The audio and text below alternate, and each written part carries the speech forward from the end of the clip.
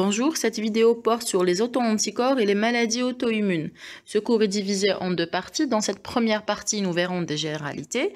Et puis dans la deuxième, nous aborderons plus en détail les maladies auto-immunes et surtout les connectivites. Les maladies auto-immunes sont des maladies chroniques. Leur prévalence est de 6 à 7% dans la population générale. En fait, ce ne sont pas des maladies qui sont rares, mais plutôt des maladies qui sont méconnues auprès du grand public. Ces maladies sont dites multifactorielles. Pourquoi? Parce qu'elles naissent suite à la conjoncture de différents facteurs, des facteurs génétiques et des facteurs environnementaux. Et puis souvent, il y a un élément déclencheur qui fait qu'il va y avoir l'apparition des symptômes. Très souvent, il s'agit euh, d'un choc émotionnel tel que la perte d'un parent. En fait, le système immunitaire, à la base, à l'état physiologique, il remplit deux rôles. Le premier rôle est celui de reconnaître tout ce qui est étranger. Pourquoi? Pour le rejeter, et ce grâce à l'armée qui le constitue, armée composée euh, de cellules et de molécules. Le système immunitaire remplit un deuxième rôle et pas des moindres, c'est celui de reconnaître le soi ou nos propres antigènes. Pourquoi? Pas pour les rejeter, mais plutôt pour les tolérer. Et lorsqu'on a un souci dans les mécanismes de tolérance de nos propres antigènes, il va y avoir ce qu'on appelle une réponse auto-immune. Et donc, il va y avoir une maladie auto-immune. Lorsque cette maladie auto-immune touche un seul organe, on parlera de maladie auto-immune spécifique d'organes. C'est l'exemple du diabète euh, pour le pancréas, l'anémie de bière-mère euh, au niveau de l'estomac et l'hépatite auto-immune lorsqu'il s'agit du foie. Lorsque la maladie auto-immune atteint plusieurs organes simultanément, là on parle de maladie auto-immune non spécifique d'organes. C'est l'exemple des, connectivites, du SAP, des vascularites en cas. En fait, il faut savoir que le dysfonctionnement euh, du système immunitaire qui a lieu au niveau, euh, au niveau des maladies auto-immunes affecte essentiellement le système immunitaire adaptatif. Donc, il va y avoir soit des lymphocytes B autoréactifs ou des lymphocytes T autoréactifs. Il existe des maladies euh, dans lesquelles nous avons essentiellement des auto-anticorps, donc une réponse strictement humorale et des maladies à l'inverse où nous avons une réponse uniquement euh, cellulaire. Comme on peut avoir la combinaison des deux. Je vais vous donner euh, un exemple, en fait deux exemples, mais pour lequel il se passe à peu près la même chose.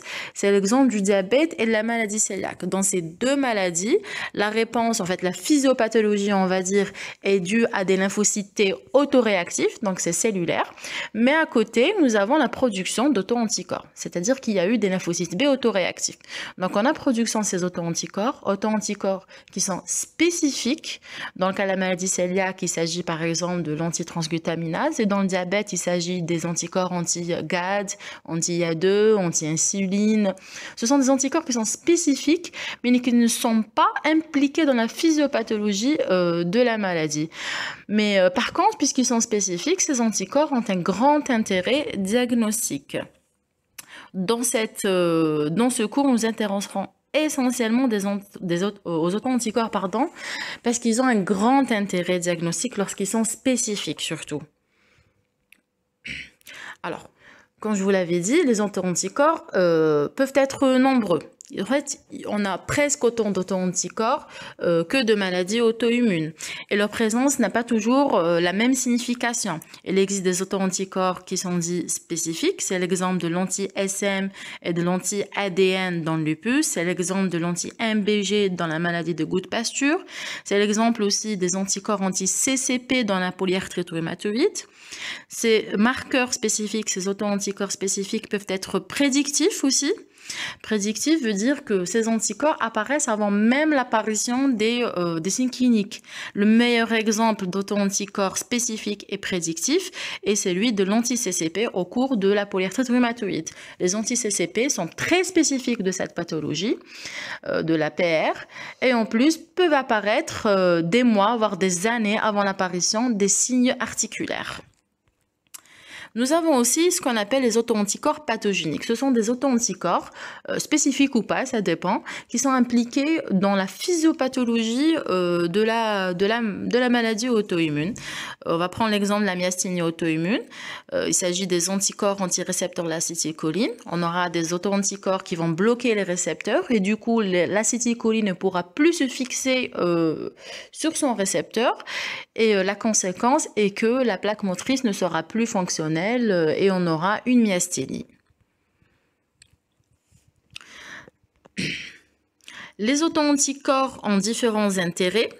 Les auto-anticorps les plus intéressants sont ceux qui sont euh, spécifiques. Je vous ai donné des exemples, l'anti-ADN, l'anti-SM, l'anti-transglutaminase, l'anti-GADIA2, l'anti-CCP. Et ils ont un intérêt dans le diagnostic, c'est-à-dire que si j'ai la maladie, je suis euh, pratiquement sûr que j'ai, euh, pardon, si j'ai l'auto-anticorps, je suis pratiquement sûr que j'ai la maladie. Très souvent, les auto-anticorps sont intégrés dans les critères diagnostiques des, euh, des maladies auto-immunes. Donc ça, c'est le premier intérêt. Le deuxième intérêt, c'est le pronostic. Je vais vous donner des exemples. L'anti-DNA dans le lupus, quand on a l'anti-DNA, c'est euh, de mauvais pronostics parce qu'il peut y avoir une atteinte rénale. Un autre exemple, l'anti-ARN polymérase 3 dans la sclérodermie systémique, quand on l'a, c'est un marqueur de survenue de la crise rénale. Donc nous avons plusieurs exemples comme ça. Et enfin, euh, les auto-anticorps peuvent avoir un intérêt de suivi. Là par contre, il y a très peu d'auto-anticorps qui présentent cet intérêt-là. Le meilleur exemple est celui de l'anti-ADM. En fait, parmi les anticorps antinucléaires, vous saurez par la suite ce que sont les anticorps antinucléaires. Parmi les anticorps antinucléaires, seul l'anti-ADN a un intérêt de suivi. Ça veut dire quoi? Ça veut dire que, euh, que, le taux de l'anti-DNA, qu'il baisse ou qu'il augmente, ça a un intérêt. Ça suit l'évolution de l'activité de la maladie. S'il y a une augmentation, ça veut dire qu'il se peut qu'il soit le malade euh, qui soit en poussée. Par contre, si ça diminue, là, c'est un bon signe. Ça veut dire qu'il y a une diminution de l'activité de la maladie. Voilà.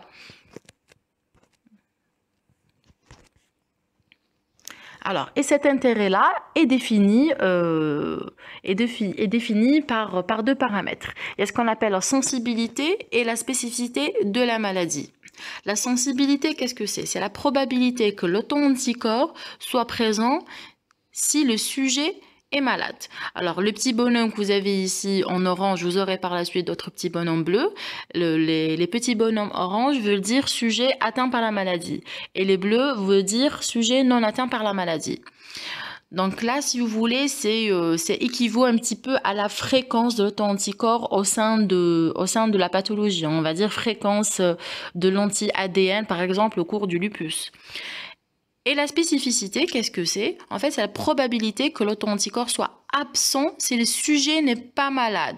Ça veut dire que plus la spécificité est élevée, et c'est exprimé en pourcentage, le maximum est à 100%. Idem pour la sensibilité. Plus la spécificité est élevée, plus euh, on a de chances pour qu'on soit vraiment dans cette maladie-là. Il faut savoir que les auto-anticorps euh, ayant une spécificité de 100% sont extrêmement rares. Et euh, l'auto-anticorps idéal serait celui qui a une, euh, une sensibilité euh, élevée et une spécificité élevée, mais c'est extrêmement rare. Pourquoi? Parce que généralement, la sensibilité augmente avec la sensibilité de la technique. Et quand on augmente en sensibilité, on diminue en spécificité. Alors maintenant, on va parler des techniques de détection de ces auto-anticorps. Alors il existe au fil du temps, il y a eu beaucoup de techniques, certains ont été abandonnés. C'est l'exemple des techniques d'immunoprécipitation, elles ne sont plus utilisées pour la recherche des auto-anticorps. Les techniques les plus utilisées actuellement et partout dans le monde, euh, c'est la technique IFI, immunofluorescence indirecte, c'est une technique d'immunofluorescence et les techniques d'immuno, euh, essentiellement l'ELISA et l'immunodote. Voilà. Les techniques d'agglutination sont utilisées surtout pour le FR, le facteur rhumatoïde. Vous comprendrez par la suite pourquoi. Alors, comment on fonctionne d'habitude? Généralement, euh, ça dépend de la maladie. Mais grosso modo, nous, euh, nous faisons cette recherche en deux étapes. Il y a une première étape de dépistage ou de screening où on ratisse large, c'est-à-dire qu'on recherche un ensemble d'auto-anticorps à la fois, parce qu'en fait, les signes, les signes cliniques d'une maladie auto-immune ne sont pas spécifique euh, d'une maladie, euh, sinon on n'aurait pas besoin de rechercher les auto-anticorps. On va dire quand on a des arthralgies, quand on a une myasthénie, on ne sait pas si c'est un lupus, si c'est une polymyosite, une dermatomyosite, c'est assez vague. Donc généralement on suspecte un ensemble de maladies à la fois et du coup il faut rechercher un ensemble d'auto-anticorps. Donc on va ratisser large, c'est une recherche qui est large. On parle de dépistage ou de screening et ça se fait généralement par IFI, la technique de référence pour le dépistage et. Et puis lorsque c'est négatif, euh, lorsque cette première étape est négative, on s'arrête. Lorsque c'est positif, il faut aller vers l'identification. Lorsque c'est positif, ça veut dire qu'on a un auto-anticorps, un ou plusieurs auto-anticorps, mais on ne sait pas, euh, on ne les connaît pas, on ne les a pas encore identifiés. Là, il faut passer à l'identification. Et pour l'identification, Très souvent, on utilise les techniques immuno-enzymatiques. C'est les techniques, euh, si vous voulez, préférées au niveau des laboratoires d'immunologie. Alors, on peut diviser les maladies auto-immunes en deux grands groupes. Il y a les maladies auto-immunes non spécifiques euh, d'organes. Ça veut dire qu'on a plusieurs organes qui sont touchés à la fois. Alors, il s'agit essentiellement des connectivites. Les connectivites regroupent six maladies, on les verra par la suite. On a aussi le syndrome des antiphospholipides, appelé communément le SAPL. Et puis, on a les vascularites en cas, qui regroupent la micropolyangéite, le Sturck-Strauss et le Wegener. Nous avons à côté les maladies spécifiques d'organes. Là, on a énormément de maladies, énormément d'exemples. Je vous ai mis euh, certains. Euh, c'est le cas du diabète insulinodépendant ou le type 1 lorsque ça touche le pancréas, la thyroïdite auto-immune, la maladie cœliaque lorsque c'est l'intestin qui est touché, l'anémie de Biermer lorsque c'est l'estomac qui est touché, les hépatopathies auto-immunes qui regroupent les hépatites auto-immunes de type 1, de type 2 et la cholangite sclérosante primitive, la CBP. Nous avons la myasthénie auto le pemphigus, il existe énormément d'exemples. On va s'intéresser aux maladies non spécifiques d'organes, essentiellement les connectivites. Je vous l'ai dit, alors les connectivites regroupent six maladies. Nous avons le lupus érythémateux systémique, le syndrome de Gougereau-Jogren, appelé, j'insiste, à tort syndrome sec. Il ne faut jamais l'appeler syndrome sec. Le syndrome sec est juste un symptôme et non pas un nom de maladie. Nous avons la sclérodermie systémique à ne pas confondre avec la sclérodermie localisée qui n'est pas systémique, qui n'est pas, euh, en fait, qui est, euh, qui est spécifique d'organes étant donné qu'il n'y a que la peau qui est touchée et qui s'appelle, euh, la sclérodermie localisée s'appelle également morphée. Nous avons la polymyosite et la dermatomyosite. La polyarthrite rhumatoïde, oui, la polyarthrite rhumatoïde est non spécifique d'organes, il ne faut pas se tromper. Et enfin, nous avons la connectivité mixte. Et là aussi, euh, petite nuance, la connectivité mixte ne veut pas dire chevauchement. Un chevauchement ou un overlap syndrome veut dire association de plusieurs connectivités. Veut dire que j'ai un lupus par exemple, plus un sclerodermie ou une PR, plus un Jogren, plus une polymyosite. La connectivité mixte est une maladie à part. C'est une maladie dans laquelle nous avons certains symptômes du lupus, certains de Jogren, certains de sclérodermie, mais nous n'avons pas assez de critères pour poser le diagnostic du lupus, pas assez pour poser euh, les, euh, pas assez de critères pour poser le diagnostic d'une autre connectivité. Par contre, ça répond à des critères. Généralement, c'est des critères de Sharp. Donc, la connectivité mixte est aussi appelée syndrome de Sharp. Alors, pourquoi nous avons regroupé ces connectivités dans un même groupe? Ce sont des maladies système, je vous l'ai dit. Nous avons, nous avons regroupé ces maladies, ces six maladies, dans un même groupe pour deux raisons.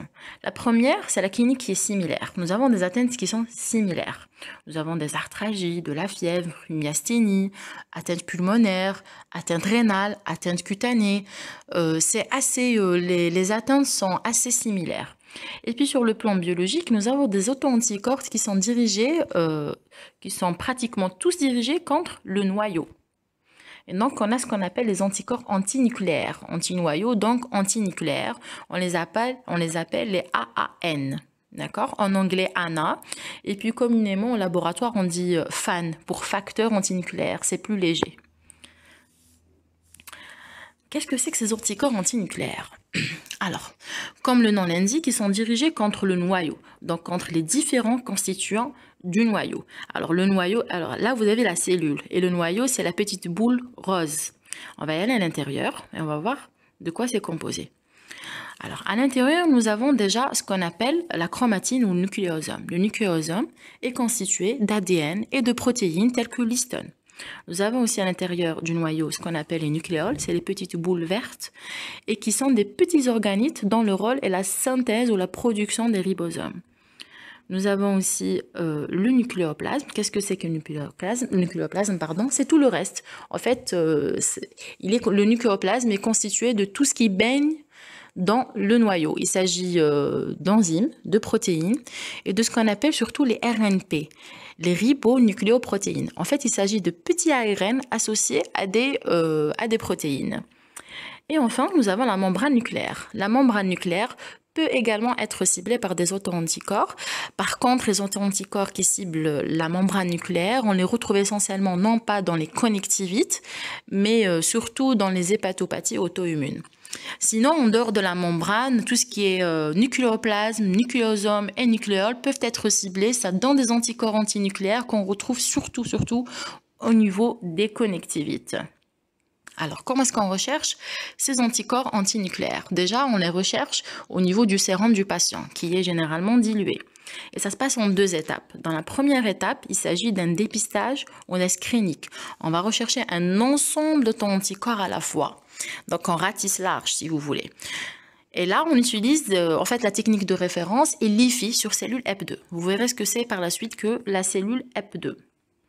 Dans un deuxième temps, si c'est positif, on va faire une identification. Et là, on va rechercher sec auto-anticorps seul, parce qu'on aura une orientation à la première étape. Et là, on utilise des techniques euh, qui sont un peu plus sensibles que l'IFI. Ce sont essentiellement les techniques immunoenzymatiques, ELISA et DOT. Il y a aussi d'autres techniques de pointe qui sont plus récentes, euh, mais on n'en parlera pas dans cette diapositive. Alors, on va parler maintenant de l'IFI sur cellule EP2. Qu'est-ce que c'est que les cellules EP2 La cellule EP2, c'est une cellule qui provient du carcinome de larynx humain, donc Human Epithelium 2. Ce sont des cellules euh, qui ont plusieurs caractéristiques. Les principales sont, euh, sont, la présence d'un noyau qui est grand. En fait, euh, cette cellule n'est pas du tout représentative de la cellule EP2. Le noyau de la cellule EP2 occupe pratiquement toute la surface de la cellule. Il reste très peu de place pour le cytoplasme.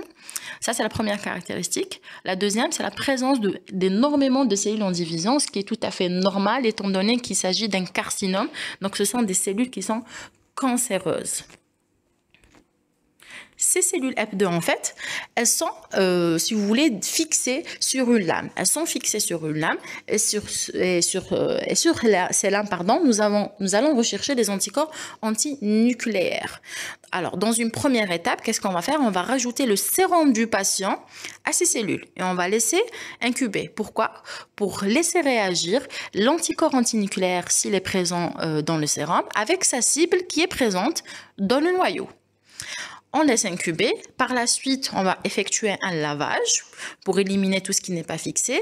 Et enfin, on rajoutera un conjugué. Un conjugué, c'est un anticorps anti-anticorps. Donc, c'est un anticorps qui va lier l'anticorps vert du patient L'anticorps vert, c'est l'anticorps antinucléaire qui est déjà fixé. Et puis vous voyez la petite étoile euh, jaune qui est liée à l'anticorps bleu, le conjugué, c'est ce qui va permettre de révéler la réaction. C'est un fluorochrome. Donc il va permettre, suite à une excitation, grâce à un microscope à fluorescence, d'émettre une fluorescence. Donc on aura une fluorescence là où il y a liaison. Là où il y a la réaction anticorps-antigène, il va y avoir une fluorescence verdâtre. Et là, on aura différents aspects. Alors, ça, c'est le premier aspect, ça s'appelle homogène.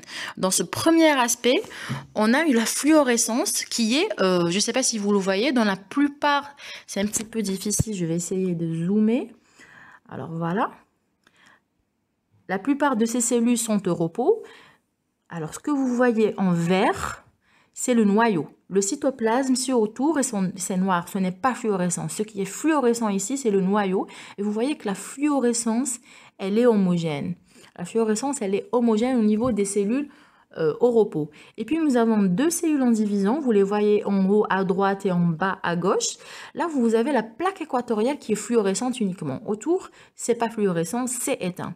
La plaque équatoriale euh, est, est, fluorescente au niveau de la métaphase. Ça veut dire quoi? Ça veut dire qu'il s'agit du nucléosome. Donc là, nous avons, ça indique que nous avons des anticorps anti-nucléosomes, c'est-à-dire anti-ADN ou anti-histone. Donc l'aspect homogène oriente vers euh, des anticorps anti-nucléosomes, anti-histone ou anti-ADN.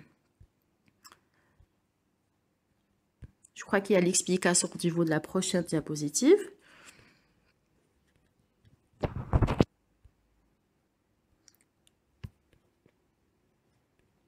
Alors voilà, donc ça c'est le nucléosome. Le nucléosome est formé d'ADN et d'histone. Et puis la liaison des deux peut donner lieu à l'apparition de néoépitopes. Donc quand on a l'aspect homogène, il peut s'agir d'anticorps anti-ADN, anti-histone ou anti-nucléosome, c'est-à-dire les néoépitopes.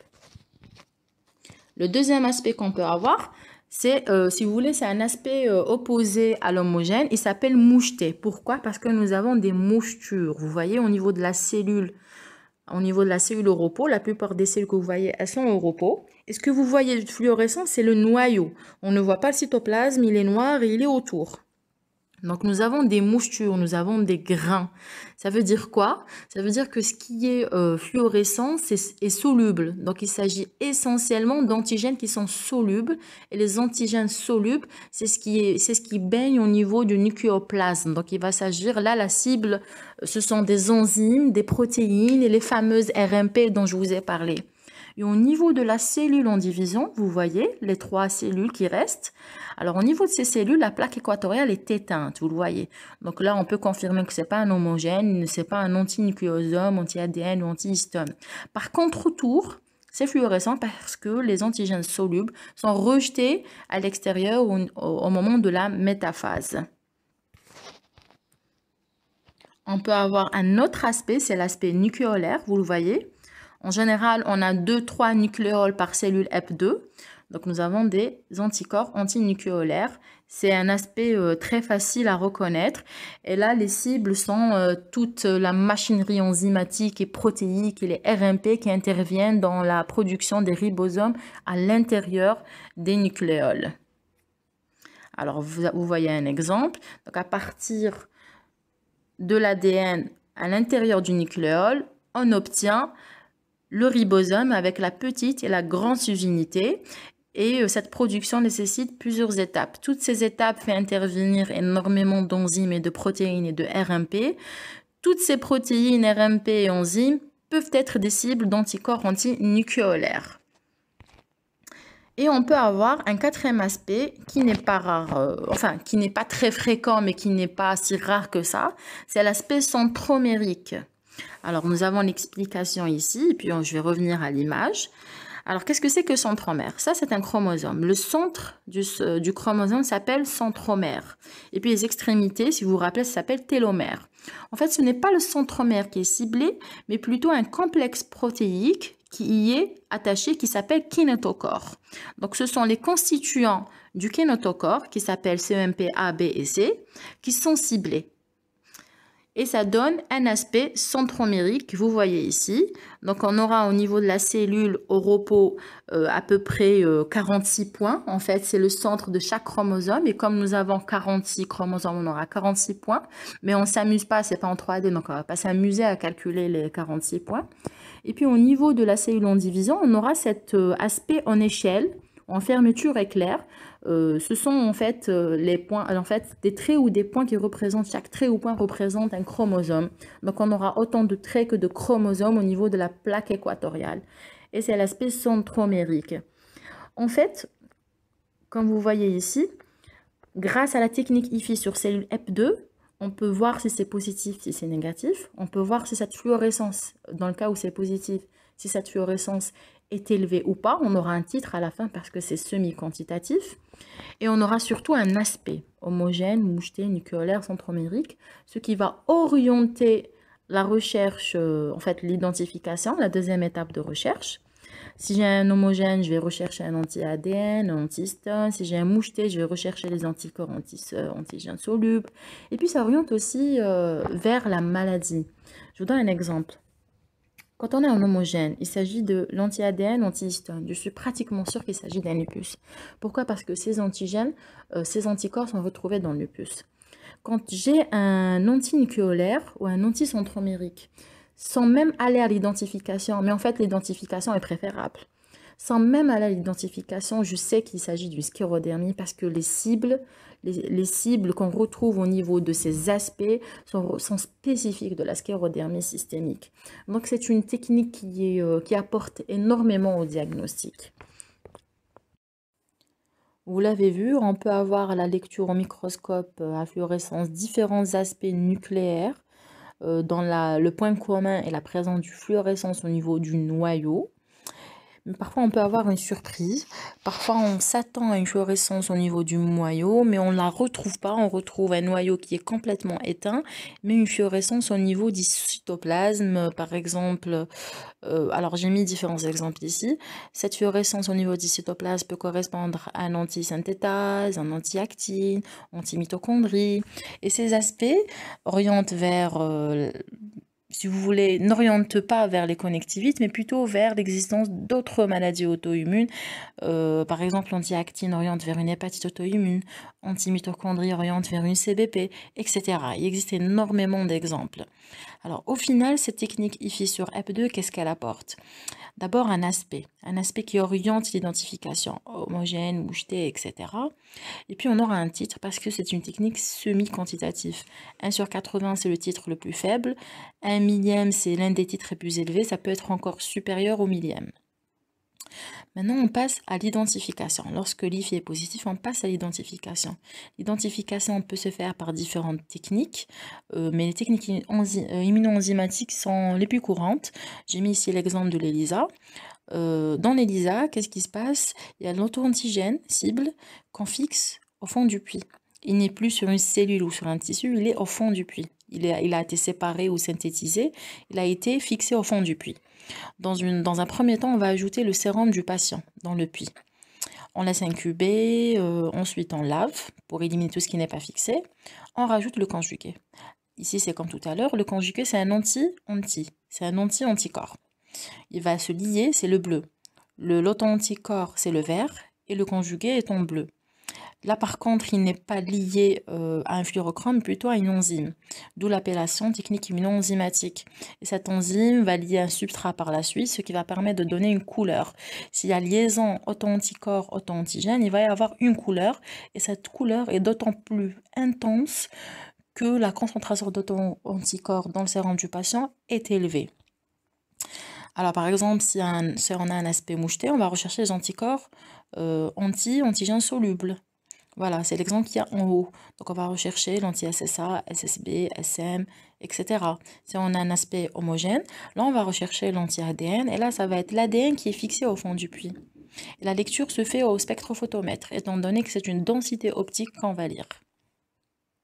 On passe maintenant au facteur rhumatoïde. Le facteur rhumatoïde n'est pas un anticorps antinucléaire, c'est complètement autre chose. Euh, le facteur rhumatoïde, en fait, est retrouvé au cours de la PR. Il est très recherché parce qu'il est très sensible, mais il n'est pas très spécifique de la PR. Euh, c'est pas un marqueur qui, euh, qui aide énormément. Alors, la cible du facteur rhumatoïde est l'IgG, c'est la fraction FC de l'IgG. Et l'auto-anticorps lui-même est d'isotype IgM le plus souvent. Le plus souvent, il est d'isotype IgM, donc il est pentamérique. Et puisqu'il est pentamérique, pour sa recherche, on va employer des techniques d'immunoagglutination. Pourquoi? Parce que l'IgM a ce pouvoir d'agglutiner, parce que justement, elle est pentamérique. Donc on utilise, en fait, ça a été longtemps utilisé, latex, valérose, et puis il y a eu, euh, ces techniques ont été, euh, il y a eu mise, euh, si vous voulez, il y a eu la néphélémétrie laser, est aussi, de l'agglutination mais en milieu liquide. Et puis, il y a l'ELISA. Donc, il y a vraiment euh, tout un éventail de techniques qui permettent de rechercher le facteur rhumatoïde. Mais ne l'oubliez pas, gardez ça en tête, le facteur rhumatoïde n'est pas spécifique de l'APR. On peut le retrouver dans différentes maladies auto-immunes et même en dehors des maladies auto-immunes, chez les sujets sains, chez les sujets ayant des infections, etc. Alors, pour récapituler, euh, quand on a un aspect homogène, moucheté, etc., ça oriente vers un auto-anticorps et cet auto-anticorps oriente vers une maladie, une connectivité bien précise. Alors, Quand on a l'anti, quand on a l'homogène, on pense à l'anti-ADN. L'anti-ADN oriente vers le lupus. Ou alors l'histone. L'anti-histone oriente également vers un lupus, mais il n'est pas spécifique, faites attention. On peut le retrouver même euh, dans une forme de lupus qui est appelée lupus induit. Euh, c'est un lupus qui est induit généralement par les médicaments. Quand on a un moucheté, là on pense aux antigènes solubles, c'est les anticorps anti-antigènes solubles. Là on a tout un éventail. Vous avez juste quelques exemples ici. SSA, SSB euh, oriente vers le Jogren. SM euh, très spécifique du lupus, encore plus spécifique de l'anti-ADN. Le RMP oriente vers la connectivité mixte, mais aussi euh, tous les chevauchements qu'il peut y avoir entre les connectivites. Le SK70 est très spécifique de la sclérodermie. Le nucléolaire et centromère également orientent vers la sclérodermie. Au final, euh, il faut retenir une chose, c'est que les auto-anticorps antinucléaires sont très fréquents dans les connectivites, surtout dans le lupus, 98% des cas, la sclérodermie, 95% des cas, suivi par le Jogren, euh, l'APR, la dermatomyosite, où on les retrouve un peu moins. Mais en fait, il faut garder en tête une chose, c'est que de, de 1, il faut toujours retrouver la cible. Quand on a des anticorps antinucléaires, il faut retrouver la cible. Et même si je retrouve la cible, je ne suis pas sûre qu'il y ait la maladie. Parce que, parce que la présence d'un auto-anticorps n'est pas synonyme de la présence de la maladie. Ça, c'est la première chose. La deuxième chose, les anticorps antinucléaires peuvent être retrouvés même en dehors des connectivites. Ils peuvent être retrouvés euh, au cours d'autres maladies auto-immunes, mais aussi euh, même en dehors euh, de toute maladie auto-immune, par exemple lors des infections ou même chez les sujets âgés. Pourquoi? Parce que la plus un sujet vieillit, plus ses mécanismes de tolérance sont, sont inefficaces. Donc il faut faire très attention. Euh, chez les sujets âgés, il est courant de retrouver des, euh, anticorps antinucléaires à 80, 160, même 320. Il faut faire très attention. De plus en plus, les laboratoires d'auto-immunité tendent à élever le seuil euh, des anticorps antinucléaires. Donc, il faut interpréter avec prudence un bilan d'auto-immunité. Nous arrivons au terme de la première partie. On se retrouvera, Inch'Allah, dans la deuxième partie où je détaillerai les maladies auto-immunes, tout ce qui est euh, signes cliniques, auto-anticorps et diagnostic. On parlera essentiellement des connectivites. Voilà, je vous remercie. À très bientôt.